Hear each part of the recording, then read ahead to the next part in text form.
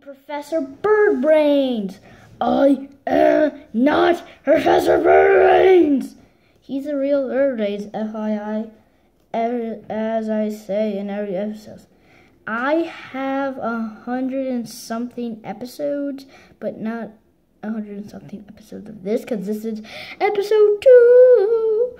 And if you haven't heard of Greek myths and or Professor Birdbrains, I yes, definitely go to episode one where we talk about the beginning of the Greek gods.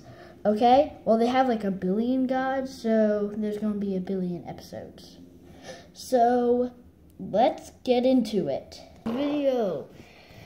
The Titans. Wait, wait. The, yeah, the Titans were the first children of Mother Earth.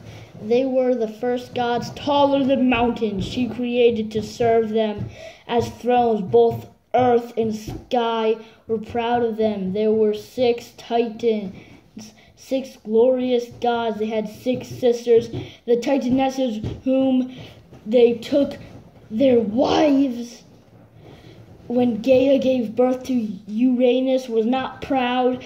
Their new children were also huge, but each had only one glowing eye set in the middle of his forehead. There were only three Cyclopses, and they were named Lightning, Thunder, and Thunderbolt. They were not handsome gods, but tremendously strong smiths. Sparks from their heavy hammers flash, flashed across the sky and lit up the heavens so brightly that even their father's stars faded. After a while, Mother Earth bore three more sons. Uranus looked at them with disgust. Each of them had fifty hands, a hundred strong arms. He hated to see such ugly creatures walk the earth.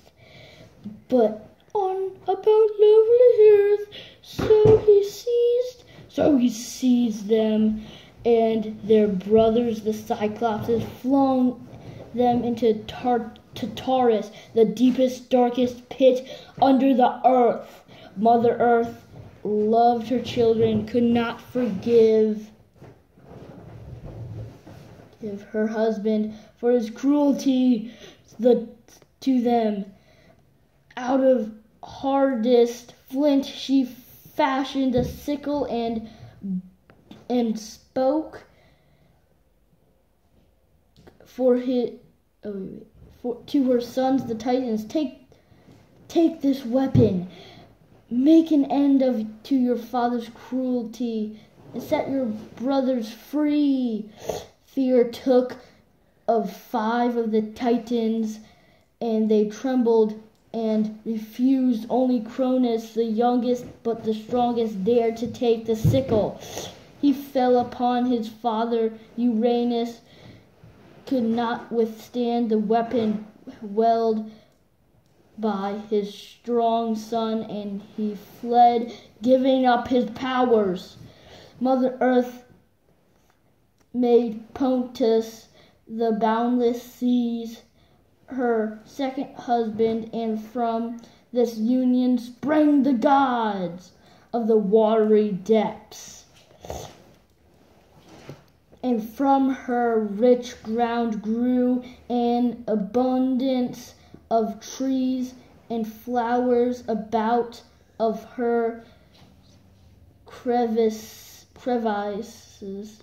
Sprites beat, beats uh, and early man crept forth. And that's our Greek myths. Ask about us in the comments below. Leave anything. And we might be doing giveaways in the future when you have hover cards, you know. Oh, and there's one more thing. We have a new guest. Oh, hello. I'm Mr. Alien from plant from Mars, okay? Oh, hi, you're ginormous, obviously. And make sure, oh, wait, you're my biggest fan. Give me a hug. Okay?